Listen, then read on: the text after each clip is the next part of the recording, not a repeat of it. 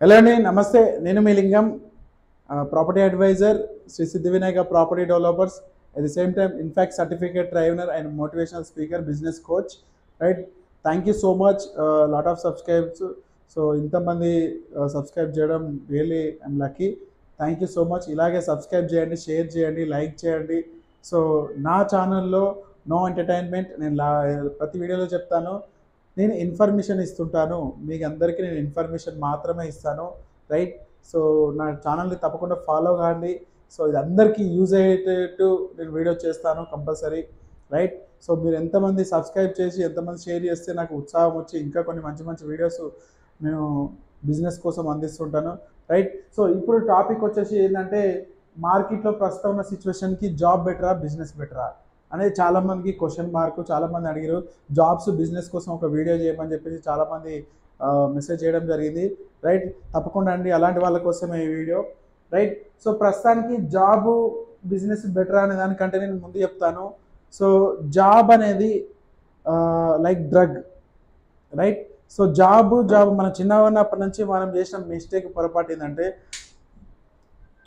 మన నాన్నలు మన తాతలు ముత్తాతలు ఎప్పుడైనా బిడ్డ జాబ్ చేయి మంచి గవర్నమెంట్ కోల్ చేయి మంచి ప్రైవేట్ జాబ్ చేయి నెలకు యాభై వేలు వచ్చే చేయి నలభై వేలు వచ్చే చేయి ముప్పై వేలు వచ్చే చేయి అని చెప్పి కానీ మన వాళ్ళు ఎప్పుడు బిజినెస్ కూడా మనకి నేర్పలేదు. కానీ మార్వాడి వాళ్ళ కాన్సెప్ట్ ఏంటంటే వాళ్ళ పిల్లల భవిష్యత్తుకి కోసం వాళ్ళు ముందే ఏం చేస్తారంటే వాడు ఎయిట్ ఇయర్స్ ఉన్నప్పటి నుంచెల్లే వెళ్ళే ఎయిట్ ఇయర్స్ ఉన్నప్పటి నుంచే బిజినెస్ స్టార్ట్ చేయించడం నేర్పిస్తారు వాళ్ళకి. ఎయిట్ ఇయర్స్ నుంచే జస్ట్ ఎయిట్ ఇయర్స్ నుంచే బిజినెస్ స్టార్ట్ చేయడం నేర్పిస్తారు వాళ్ళకి. కానీ మన వాళ్ళు మనకు నేర్పేది ఏంటంటే దురదృష్టం సాత్తు జాబ్. నాయన జాబ్ చేయి ప్రైవేట్ జాబ్ చేయి గవర్నమెంట్ జాబ్ చేయి ఏ జాబ్ అనే సెక్యూరిటీ జాబ్ చేయి మార్కెట్ జాబ్ చేయి రీటైల్ జాబ్ చేయి ఇంకేమైనా జాబ్ చేయి మొత్తానికి అయితే నువ్వు జాబే వేయాలి అంటే చిన్నప్పటి నుంచి వెళ్ళి మనకి జాబు జాబు జాబు జాబు అనే ఒక విత్తనం నాటేసింది మైండ్లో సో అది అంత ఈజీగా పోదు.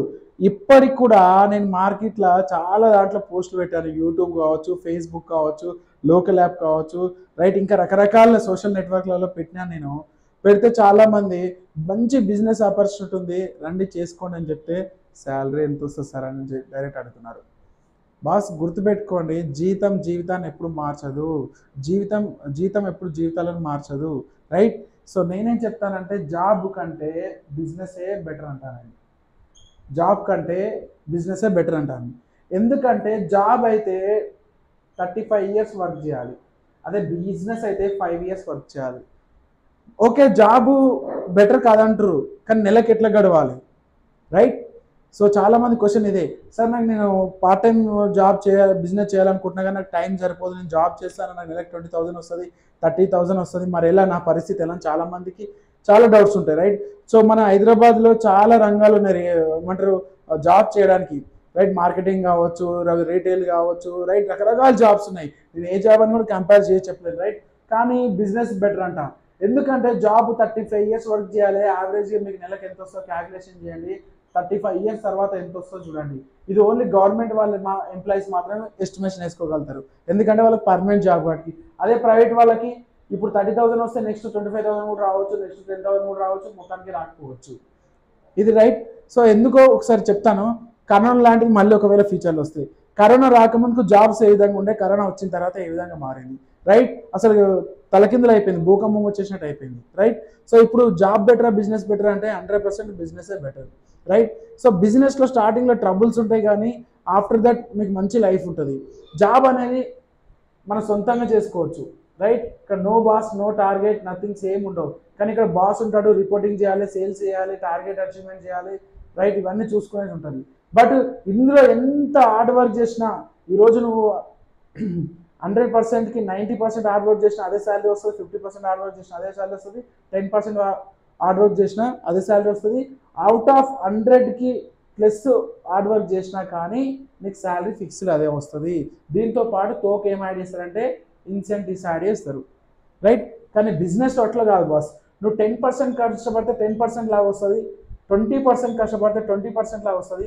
థర్టీ పర్సెంట్ కష్టపడితే థర్టీ ఫిఫ్టీ పడితే ఫిఫ్టీ సెవెంటీ పడితే సెవెంటీ ఎయిటీ పడితే ఎయిటీ హండ్రెడ్ పడితే హండ్రెడ్. నువ్వు ఎంత పర్సెంట్ కష్టపడతావు అనేది నీ చేతుల మీద ఉంటుంది ఇక్కడ బిజినెస్లో చాలామంది ఏం చేస్తారంటే బిజినెస్ రాకముందుకు మనకు బిజినెస్లోకి రండి మంచి ఆపర్చునిటీ ఉంది జీరో ఇన్వెస్ట్మెంట్ అంటే మన వాళ్ళు వేసి ఫస్ట్ క్వశ్చన్ అంటే శాలరీ వస్తుందా అని అడుగుతారు. రైట్ శాలరీ రాదు బిజినెస్లో బిజినెస్లో ఉంది ఏంటి ఇన్సెంటివ్స్ ఉంటాయి. రైట్ సో జీవితం ఎప్పుడైనా బాగుండాలి మన కన్న కళలు నెరవేరాలి మనకున్న గోల్స్ మన ఫ్యామిలీని బాగా పైకి తీసుకురావాలి మన ఫ్యామిలీని మంచిగా చూసుకోవాలి మన అమ్మ నాన్నల కన్నా కళలు నెరవేర్చుకోవాలంటే ఇందులో ఎప్పటికీ పాసిబుల్ కాదు. ఇది ఫ్యాక్ట్ ఇది. జాబ్ మీరు అడగండి. థర్టీ థౌసండ్ శాలరీ వచ్చే గవర్నమెంట్ ఎంప్లాయీ సాటిస్ఫైడ్ ఉన్నాడో? అడగండి. ఫిఫ్టీ థౌసండ్ శాలరీ వచ్చే గవర్నమెంట్ ఎంప్లాయీ సాటిస్ఫైడ్ ఉన్నాడో? అడగండి. సెవెంటీ థౌసండ్ శాలరీ వచ్చిన సాఫ్ట్వేర్ ఏమంటారు గవర్నమెంట్ ఎంప్లాయీ సాటిస్ఫైడ్ ఉన్నాడో? అడగండి. లేదు. నిజంగా లేదు.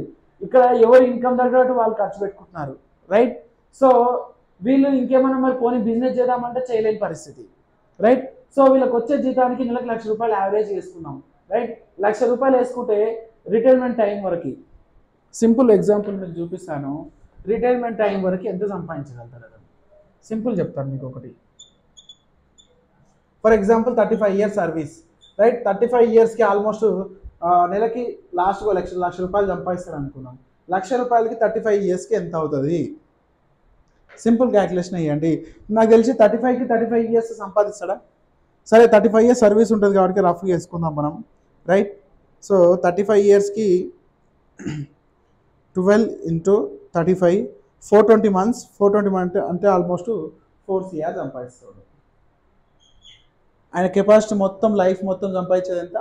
Four CR four and half right thirty five years తర్వాత. మరి థర్టీ ఫైవ్ ఇయర్స్ తర్వాత ఫోర్ ఇయర్స్ సంపాదించిన తర్వాత ఆయన ఇల్లు కొందామన్నా కారు కొందామన్నా సరిపోతుండొచ్చు అప్పటివరకు అలా పిల్లల భవిష్యత్తుకి ఏమైనా ఈ అమౌంట్ సరిపోతుంది ఒక ఎంప్లాయ్ యావరేజ్గా లక్ష రూపాయలు సంపాదిస్తాను నేను చెప్పేది.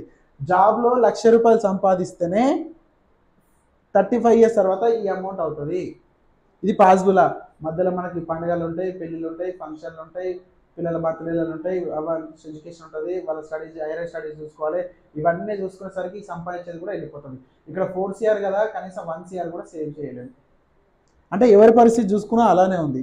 కానీ నేనేమంటానంటే డబ్బు సంపాదించాలి. నేను జాబ్ చేయడం తప్పని చెప్పట్లేదు జాబ్ చేయాలి. జాబ్ చేస్తూ ఇంకేదైనా పార్ట్ టైం చేయాలి కంపల్సరీ బికాస్ జాబ్ ఫుడ్ కోసం మాత్రమే పని చేయాలి బట్ మన డెవలప్మెంట్ కోసం కంపల్సరీ ఏదో ఒక బిజినెస్ చేయాలి. ఈ రోజు నడుస్తున్న ట్రెండింగ్లో ఈ రోజు నడుస్తున్న ప్రస్తుతం ఉన్న సిచ్యువేషన్కి job only job only just food కోసం పనిచేయాలి ఫుడ్ కోసం మీన్స్ మన పిల్లలకి రెంట్ స్కూల్ ఫీజులు కానీ మన రెంట్స్ కానీ మన హాస్పిటల్ ఖర్చులు కానీ మన ఇంట్లో నిత్యావసర సరుకులకు కానీ మన పెట్రోల్ కానీ మన డీజిల్ కానీ రైట్ ఈఎంఐస్కి కానీ సరిపోతుంది ఈ జాబు. కానీ మనం డెవలప్మెంట్ కావాలి. మన పిల్లలకు ప్రాపర్టీస్ కొనేయాలి మన మంచి హౌస్ తీసుకోవాలి మంచి కార్ కొనుక్కోవాలి అనుకుంటే బిజినెస్లో కంపల్సరీ ఎంట్రీ కావాల్సిందే. నేను అనేది జాబ్ ఫెయిల్ అన్నాను జాబ్ చేయాలి. ఎందుకంటే ప్రస్తుతం మనకి ఇల్లు గడవాలి. కానీ జాబ్తో పాటు బిజినెస్ అనేది చాలా ఇంపార్టెంట్ మీరు ఎలాంటి బిజినెస్ చూజ్ చేసుకుంటారనేది మీ ఇష్టం రైట్ సో మీరు రియల్ ఎస్టేట్ చేస్తారా ఇంకేదైనా చేస్తారా ఇంకేదైనా చేస్తారా అనేది మీ ఇష్టం. కానీ నేను ఒక సజెషన్ చేయగలుగుతాను. ప్రస్తుతానికి మార్కెట్లో ఉన్నది జీరో ఇన్వెస్ట్మెంట్ జీరో ఇన్వెస్ట్మెంట్ పెట్టి ఏదైనా బిజినెస్ ఉందా అంటే ఆ మార్కెట్లో రియల్ ఎస్టేట్ ఒక ఆపర్చునిటీ ఉంది. రైట్ సో రియల్ ఎస్టేట్ గురించి తర్వాత మాట్లాడదాం. మనం సబ్జెక్ట్ వచ్చేసి జాబ్ బెటర్ బిజినెస్ బెటర్ అంటే హండ్రెడ్ పర్సెంట్ బిజినెసే ఎందుకంటే బిజినెస్లో ఇన్వెస్ట్మెంట్ లేని ఉన్నాయి ఇన్వెస్ట్మెంట్ పెట్టేటివి ఉన్నాయి. కానీ ఇన్వెస్ట్మెంట్ లేని చూసుకుంటే చాలా ఉన్నాయి రైట్ సో చాలాలో అందులో నెంబర్ వన్ ఒకటి నేను చెప్పగలుగుతాను రియల్ ఎస్టేట్ బెస్ట్ ఇన్వెస్ట్మెంట్ ఎందుకంటే కంపెనీలో ల్యాండ్స్ వాళ్ళే తీసుకొస్తారు. వాళ్ళే డెవలప్ చేస్తారు. వాళ్ళే కస్టమర్ క్యాబ్ పెడతారు వాళ్ళే ఫుడ్ పెడతారు రైట్ వెంచర్ బ్రోచర్ వాళ్ళే ఇస్తారు లేఅవుట్స్ వాళ్ళే ఇస్తారు టోటల్ పర్మిషన్ వాళ్ళే తీసుకొస్తారు రిజిస్ట్రేషన్లు వాళ్ళే చేస్తారు రైట్ ఆఫీస్ వాళ్ళదే అక్కడ పెట్టే భోజనం వాళ్ళదే క్యాబిన్స్ వాళ్ళయే మార్కెటింగ్ ఫార్మ్స్ వాళ్ళే అన్ని వాళ్ళే. మనం చేసేది ఏంటి కేవలం నైంటీ పర్సెంట్ రియల్ ఎస్టేట్ వాళ్ళు చేస్తే ఫైవ్ పర్సెంట్ మనం వర్క్ చేస్తున్నాం. కాబట్టి real estate best opportunity job చేసే వాళ్ళకి డైలీ వన్ అవర్ ఖర్చు కష్టపడితే చాలు రియల్ ఎస్టేట్లో ఎక్కువ అవసరం లేదు. రైట్ బిజినెస్ అంటే ఇంక రకరకాలుగా ఉన్నాయి. ఎట్లాంటి రకాలు ఉన్నాయంటే ఫర్ ఎగ్జాంపుల్ మీరు ఒక దగ్గర పది లక్షలు ఉన్నాయి అనుకుందాం సార్ రియల్ ఎస్టేట్ చాలా మంది అంటారు నాకు ఏమంటారు? నేను రియల్ ఎస్టేట్ ఎందుకు చూస్ చేసుకోవాలి? నా దగ్గర పది లక్షలు ఉన్నాయి నేను జాబ్ చేస్తే బిజినెస్ చేసుకోవాలనుకుంటున్నాను అంటే రైట్ అది తప్పు ఆలోచన కాదు అది కూడా మంచి ఆలోచనే. కానీ నేనేం చెప్తానంటే ఈరోజు ఫర్ ఎగ్జాంపుల్ మీ దగ్గర ఒక టెన్ ల్యాక్స్ రూపీస్ ఉన్నాయి. ఎంత? టెన్ ల్యాక్స్ రూపీస్ ఉన్నాయి. టెన్ ల్యాక్స్ రూపీస్లో ఏదో ఒకటి షాప్ పెట్టాలనుకుంటారు సో షాప్ పెట్టాలంటే ఏం చేయాలి? ఫస్ట్ ఒక ప్లేస్ చూడాలి రైట్ షటర్ చూడాలి. షటర్కి మొత్తం వర్క్ చేయించాలి. రైట్ వర్క్ చేసిన తర్వాత మనకి వర్కర్స్ కావాలి. తర్వాత దీనికి రెంట్ పే చేయాలి. పవర్ బిల్ పే చేయాలి. రైట్ తర్వాత house rent shutter rent pay చేయాలి. బ్యాంక్ ఈఎంఐ కట్టాలి. తర్వాత స్టాక్ తెచ్చుకోవాలి. ఇవన్నీ ఉంటాయి ఆప్షన్లు. అవునా కాదు? ఒక బిజినెస్ చేయాలంటే ఏదైనా ఒక బిజినెస్ చేయాలంటే సింపుల్గా ఇదంతా ఫార్మాలిటీ ఉంటుంది.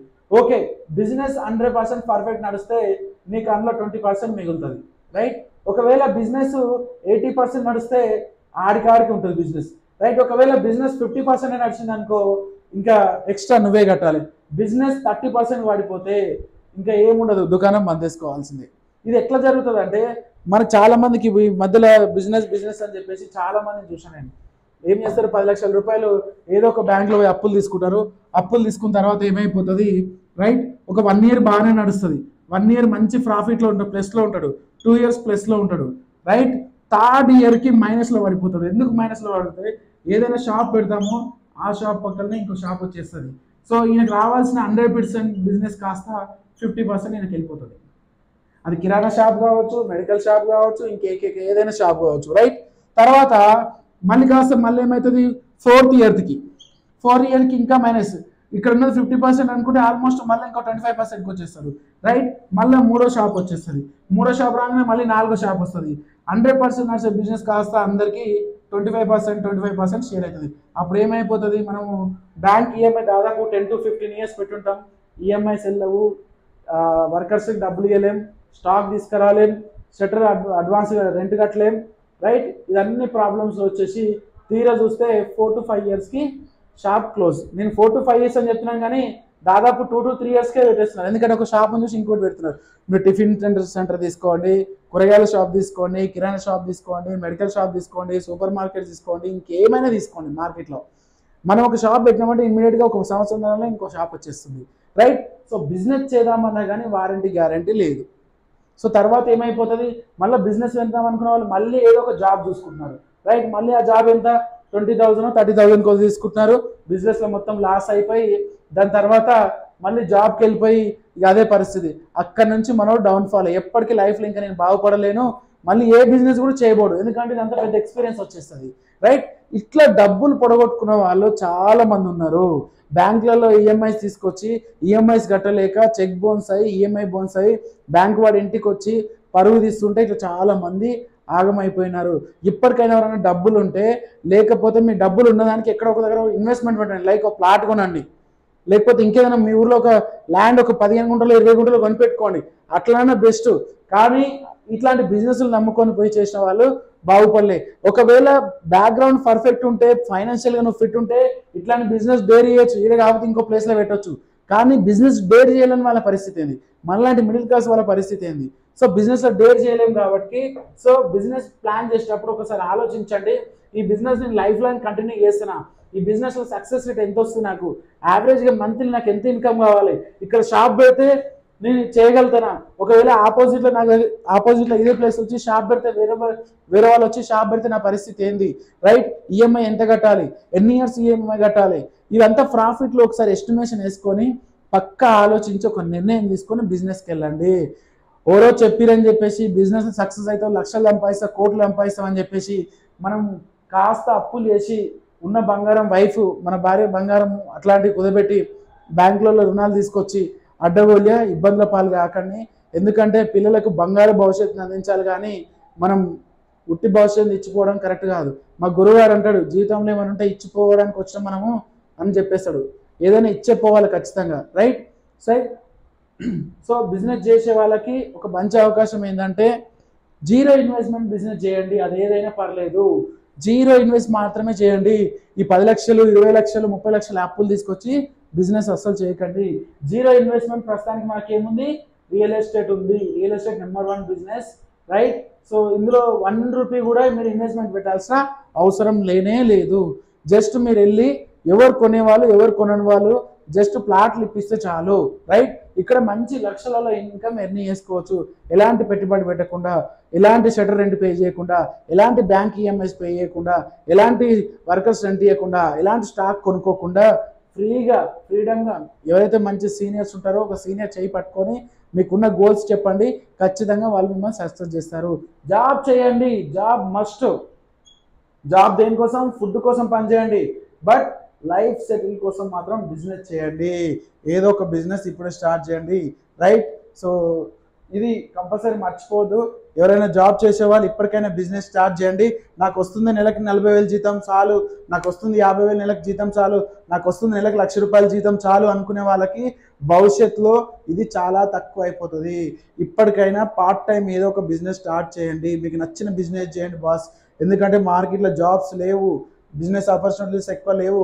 ఏమైనా ఇన్వెస్ట్మెంట్ పెట్టాలి ఏకైక ఆపర్చునిటీ మనకు ఉందంటే రియల్ ఎస్టేట్ ఒక్కటి మాత్రమే రైట్? సో ఇప్పటికైనా ఒకసారి ఆలోచించండి.